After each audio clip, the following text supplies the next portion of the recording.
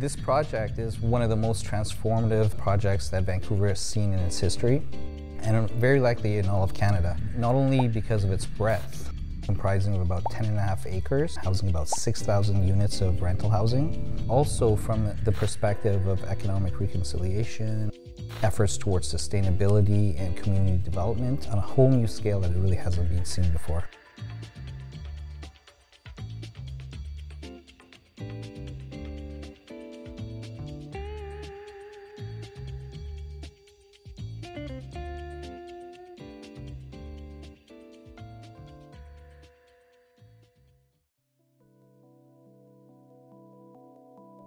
Something that is innovative, that is forward thinking, that is not seen before. What are some of the challenges that we're going through? Some of the challenging tectonic features that are being embedded, uh, the infrastructure that's being put in place. These are things that are not seen every day.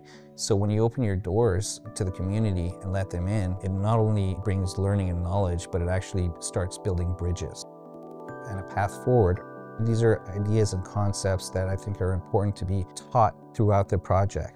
And more than anything, I think it's going to be great to have people be able to come in and see the nation at work, see the jobs that are being created, see the love and the passion of what it feels like when you're building your own home. The mandate since the beginning was that, okay, we need to design a project that really pushes uh, the standards and can achieve the lowest carbon emissions as possible. So early on, yeah, we, re we realized that we needed to use triple glazing here. The project team did lots of thermal analysis, calculations, and always trying to make sure that the design was hitting the targets that we needed.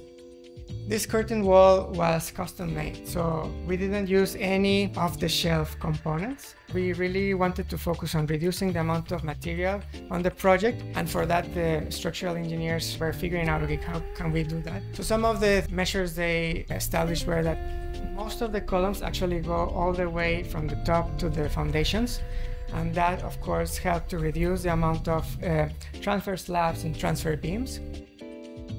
Another strategy that was used is actually the reduction in vehicle parking. Centrally located, well served, um, there is no need to have these tremendous parking stalls and underground parking, so they've limited this to 10% ratio. Instead, the reliance is now on alternative transportation, new paradigms in green infrastructure and transit integration, such as a transit hub that we're building on site. We're providing the largest bike hub in Canada's history, housing about 4,500 bikes below grade. It'll have repair shops and, and services, and a community built such as a cycle club and bike cafes. So the core technology for this project, as with pretty much all our projects now, is a heat pump. A heat pump basically uses electricity, which is clean electricity in this province, to move energy from one place to another. For this project, we're basically moving energy from the chilled water loop, which is running at around 5 degrees C, to the heating loop, which is running at 60 degrees C. One unit of power from hydro is 2.7 units of cooling.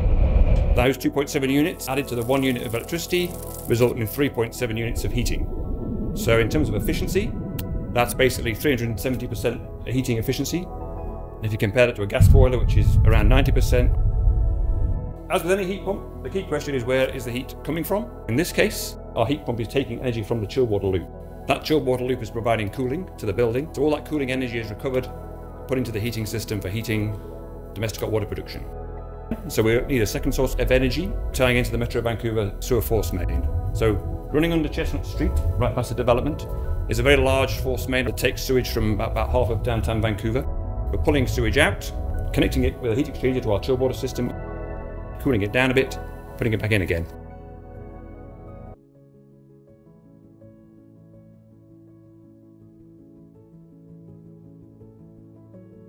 Right now is a very interesting time in the context of Vancouver. Vancouver is coming to a time where it's seeing a lot of its challenges in terms of housing and how it meets the services of increased density.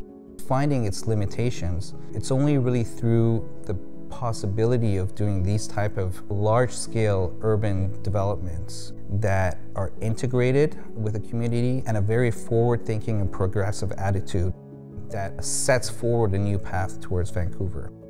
Climate resiliency, we're thinking not just 10 or 20 years ahead. We're, we're talking about 100 to 150 years ahead.